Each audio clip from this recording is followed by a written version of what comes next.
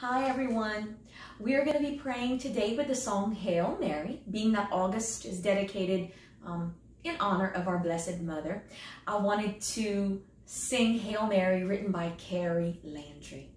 I wanted to turn to scripture first. Um, in the Gospel of Luke, um, we see um, the angel of the Lord appear to Mary.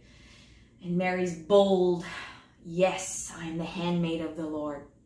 Um, so if you want to pray with me, we're going to uh, look at Luke chapter 1, verses 26 through 38.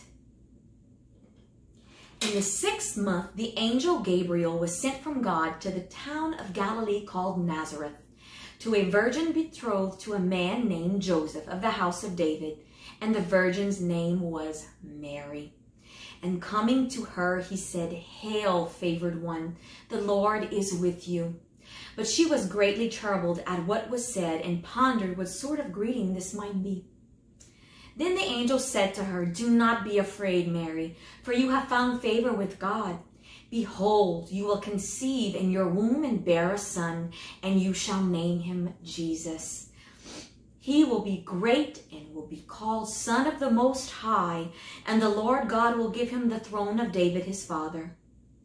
And he will rule over the house of Jacob forever, and of his kingdom there will be no end. But Mary said to the angel, How can this be, since I have no relations with a man? The angel said to her in reply, the Holy Spirit will come upon you, and the power of the Most High will overshadow you. Therefore, the child to be born will be called Holy, the Son of God. And behold, Elizabeth, your relative, has also conceived a son in her old age, and is in the sixth month for her who was called barren. For nothing will be impossible for God. Mary said, Behold, I am the handmaid of the Lord. May it be done to me according to your word. And then the angel departed from her. And then, of course, in the next parts of the gospel, we see um, Mary visit Elizabeth. And of course, Elizabeth says in verse 42, Most blessed are you among women, and blessed is the fruit of your womb. So we're going to pray the song Hail Mary by Carey Landry. And I hope you join me at home.